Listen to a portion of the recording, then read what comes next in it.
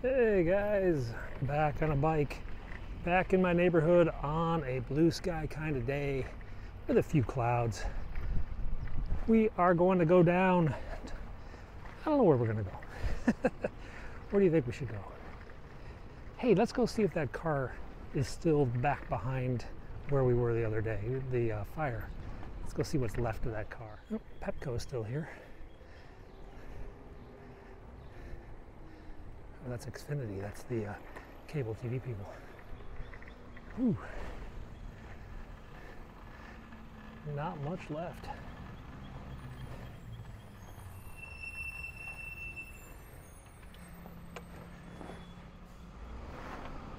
Jeez.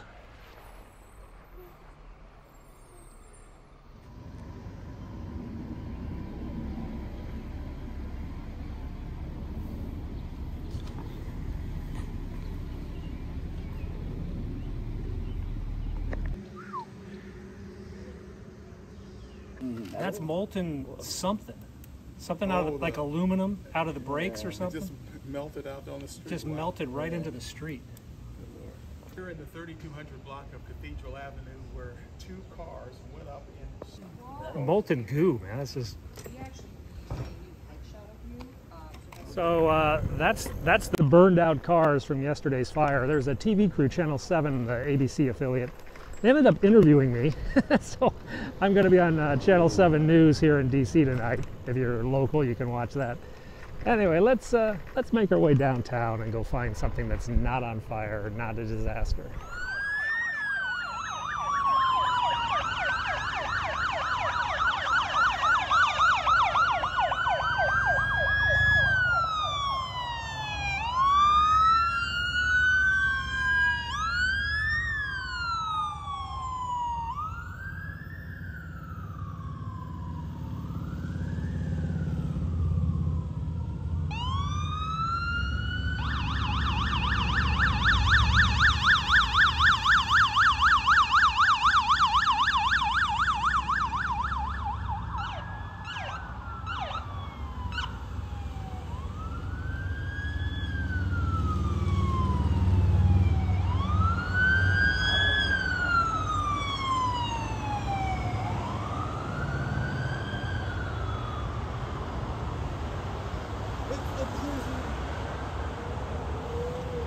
Hey, let's take a look at the Wall of Presidents. So this used to be a restaurant, Mama Ayesha, Ayesha's, Mama Ayesha's. I don't think the restaurant is still around, but they do have this mural of presidents, and there's Mama in the middle, going back to Eisenhower. This was done before Trump, before, I don't know when this was done, what year this was. So they didn't, yeah, 2012, so they didn't update it. I don't think they have any plans to update it either. I think that restaurant's closed. All right, let's spin over here. All right, this is Adams Morgan. And this is a very hip and trendy part of town. Bookstores and pizza restaurants and coffee. Madam's Organ is a famous place. Down here is the Jumbo Slice Pizza. This is like a bloody 14 inch slice of pizza. It costs like 10 bucks, but it's humongous. Then this one, Pizza Mart, this is the other big. They both claim to have created the jumbo slice of pizza, though I think lots of people in New York would probably take issue with that. Uh, up there, there's the triple X flag. The flag of Amsterdam. Yeah, get out of the gutter, guys. And that is falafel and fries. I could really go for fries, but I need to I need to be healthy right now. A lot of fun little restaurants down here. I would get fries. To be honest, the, the problem is I have to dump the bike.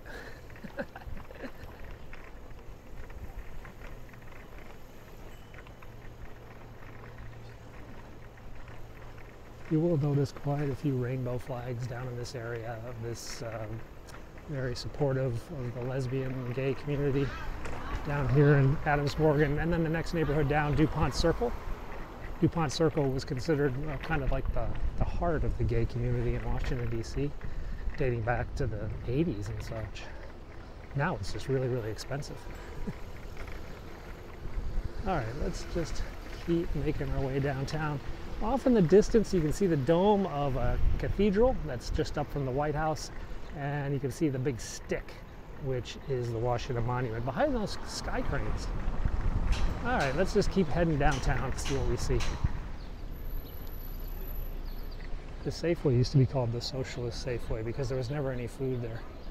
Some street art up there, side of that building. They just added this street art about a year ago. This is Amanda Gorman, the uh, poet, who was at Biden's inauguration, made that uh, rather famous poetry reading. And they painted her on the side of this wall just about a month or two after the inauguration, uh, about February or March of uh, last year. I added this painting to the DC street work street art collection. Alright. Pretty colorful steakhouse. Now this is the place that had the Christmas tree up with uh, Jill Biden's picture. And the Bidens came here to take pictures of themselves in front of the Christmas tree. Let's get on the bike lane over here. Yep, even the even the crosswalks in this part of town are colorful. Let's get back into our bike lane as we spin down towards the White House. The White House is about oh five or six blocks ahead, maybe eight. Okay, guys, we're back in Lafayette Park as we are most days. I ditched that bike because it was just annoying me. I want to get a faster bike. But uh, just swing over, take a look. Not much going on over there. I can see the crane is up lifting a fence piece right there. You see that? He's got a big piece of fence he's going to plop into position, it looks like. Oh, the trombone man is back. So yeah, you can see at the bottom of that crane, there's a big 14 foot tall segment of fence going in. What's up here today? Could get some helicopter practice. Sorry. Don't see the dog. Do you hear motorcycles?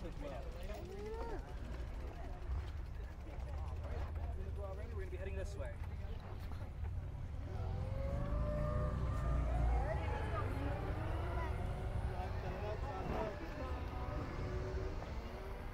Hmm, not much going on outside today.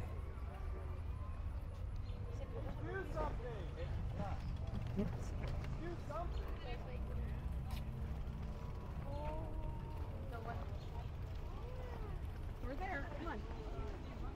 Yeah, let's spin around here on the left. That little monument there, that little stone marker, that's for the original owners of the District of Columbia, the landowners who owned this land prior to the formation of the District of Columbia. Uh, they're sort of memorialized on that little plaque. So, about an hour ago or two hours ago, there was a protest march with families from Uvalde, Texas, and Highland Park, Illinois, uh, and Buffalo. They were around here uh, protesting for gun gun control.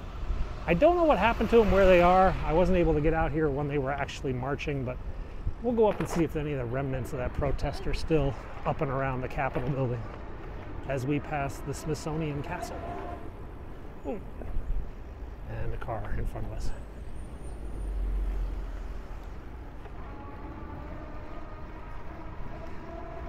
Slalom time. Woo. Come on, you want to do this too. oh, more cones, more cones. Oh, the cones are getting closer together. Oh, I can't do it. so this exhibit is closed, but they left the big green funky thing outside. I wonder if the big green funky thing is going to stay there for a while. It's pretty cool looking, whatever it is. Somebody. So the 1776ers are over there.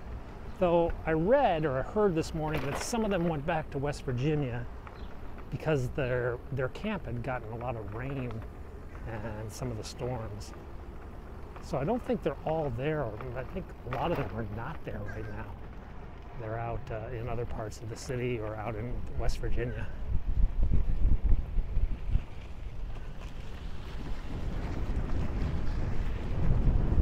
There's the Capitol building and the Washington Monument.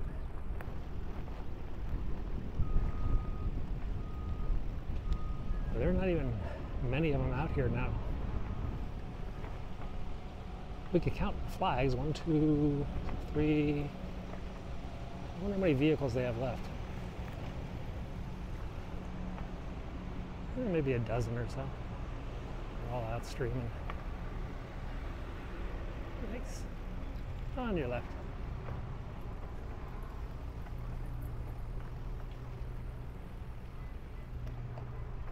So yeah, they still got a good number of cars out here. Well over a dozen.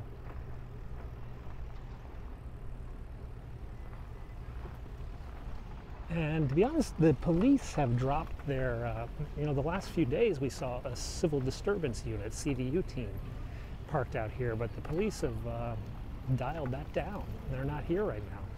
I guess they don't consider them a threat. They're not worried, or they're not worried about them. So the CDU team that's been here, kind of like ever present for the last week, and I don't even see the park police. They, all seem to have uh, backed off today. Interesting. Let's go up to the Capitol, and see what we can find. Ah, there's one. Third district. Yeah, see, third. This is not third district. This area down here is not the third district. So that means that's a, a unit on uh, on assignment from another district, probably watching those guys. Not a full CDU team, but there is there is a police officer there. Interesting. So this is the Capitol reflecting pool. There are two reflecting pools in DC, this one and then one down by the Lincoln Memorial. Underneath this one is actually like an eight lane freeway. Yeah, so there's a giant freeway that goes underneath this reflecting pool and takes you across town. And then it just stops because they never had the political will to finish the freeway. So you just get dumped out on New York Avenue and it's just a traffic nightmare. Traffic nightmare and a half, to be honest. Okay, let's go around this circle and then we'll go up Capitol Hill.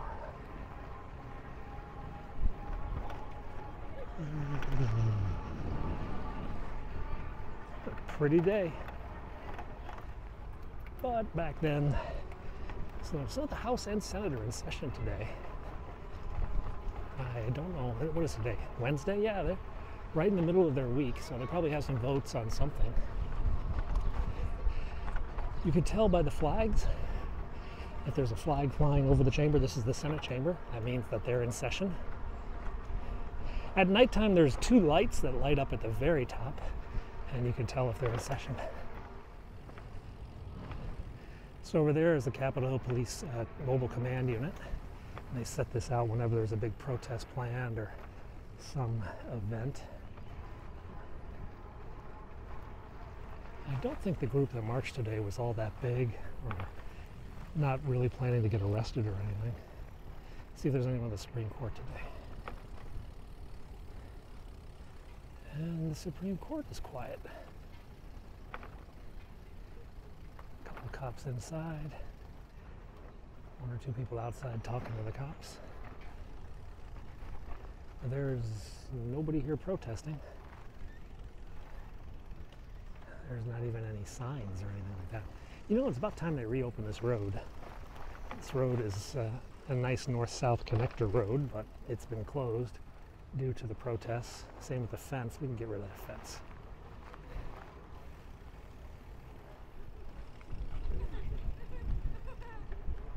All right. Well, there's the U.S. Capitol, guys. Pretty nice view. The fountains are working. What's this scaffolding out here? It's like they're doing a TV thing or something. Oh, some girl's doing her Instagram. Should I photobomb her Instagram?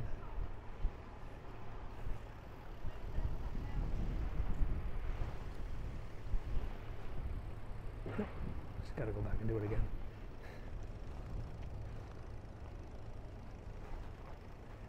Pretty cool.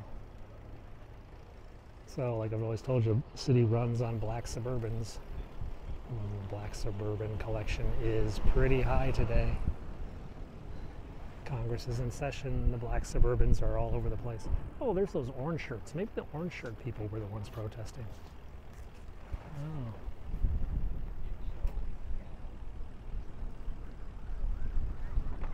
Couple Marines down here. Oh, they must have had an event they got.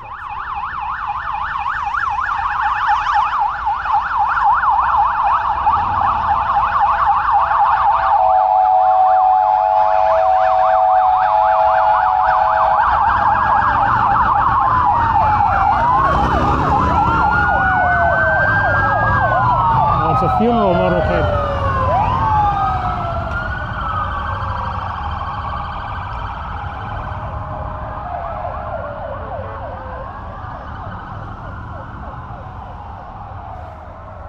Not sure who that was. So, guys, that motorcade that we just saw, that was for Woody Williams. Woody Williams of West Virginia. He is the last, or he was the last living Medal of Honor winner from World War II. He passed away just recently, and he will lie in state, in full state honors at the U.S. Capitol tomorrow. Uh, that was his motorcade entering town tonight uh, in, in preparation for tomorrow's ceremonies. All right, so down by the World War II Memorial, Pacific and Atlantic theaters, all the states and territories recognized around the outside.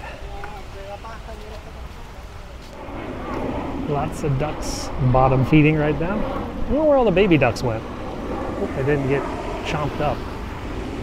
Anyway, back here at the World War II Museum, behind the Pennsylvania is where you find the graffiti. Kilroy was here, added by the artist as a tribute to the men who fought in World War II. A little bit of humor. He scratched in Kilroy was here on the back of the memorial. All right, let's swing down. I think the other side of the mall has more shade. What do you guys think? Should we go for that? Ooh, look at all the scum in the water. Yuck. So this is only about knee high, maybe waist high at best, if you were to walk through it. Wow, it's beautiful today though. Nice reflection. But we're gonna go up here in the shade and get away from the water. It is pretty hot. These guys selling all their sodas and whatnot. Technically, illegally, they're not supposed to be selling here. But they they sell at a much cheaper rate than the official beverage store where you spend like five bucks for a soda. yeah, hot dog and soda is like twelve dollars from the official restaurant. They'll give you a they'll give you a bottle of water for a buck. Alrighty, let's go this way. Ah. Zoom. That guy is flying. Of course, he's got a lot of stuff he's running into. So these statues were a gift from Italy. The people of Italy donated these statues here. Uh, that's aspiration and literature. I'm not sure what those two over on Memorial Bridge. But one of many gifts in DC. Across the way, you can't really see it because it's in the trees, is the Netherlands Carillon, which is a bell tower just on the edge of Arlington Cemetery. And it was a gift from the people of the Netherlands after World War II. They just recently renovated the bells. They sent the bells back to Amsterdam to get retuned or whatever you do to giant Carillon bells. Okay. Let's go down this way and see what we see. Oh, we got a couple muscle flights coming.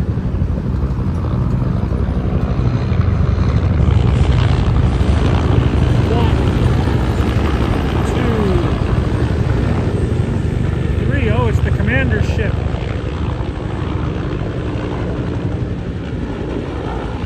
That's the gray one I showed you the other day. Okay, so we get to go back through that new tunnel I showed you last week. They just hollowed this out of the Teddy Roosevelt Bridge. And now we don't have to bike in traffic, which is, well, nice, I must admit. and the bike lane is much wider now and much smoother. It used to be cobblestones, which, well, was pretty jittery, especially when I was filming. Uh, this is the Kennedy Center, yeah. And the Watergate up there. We're going to the cathedral. It's way up on that hill. We got a bit of a hike to get there. Maybe we'll bail out and get on a bus or something.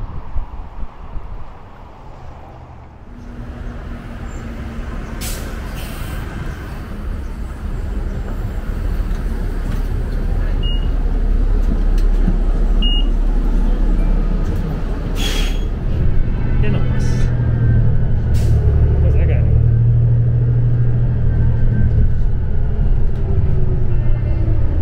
So we jumped in a bus.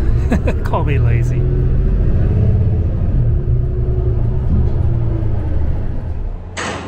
So guys, that was my day. Um, I actually did go out to Arlington Cemetery. I'm gonna show you that video tomorrow. Tomorrow we're gonna be talking about the Medal of Honor. We'll be going up to the Capitol and then I can explain this story from Arlington. Anyway, thanks a lot for watching today. I will see you all tomorrow.